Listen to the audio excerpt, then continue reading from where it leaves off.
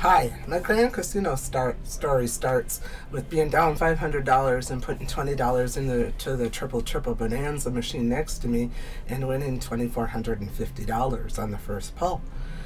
The next thing I know, the lady comes over to pay me and she says, I said, Well, how much did I win? And she said, $2,450. And she said, If you would have gotten triple, triple, triple bonanza, you would have gotten 7500 And I said, Well, I'll take the 2450 so the very next time at the, I'm at the same triple triple bonanza machine and I'm telling the lady next to me at the diamond machine the story and just when I said triple triple triple it came up and I won $7,500 on my birthday. It's my birthday. Then one year later I won the same amount 7500 on my son's birthday. So two times in one year I won $7,500 on the same triple triple bonanza machine.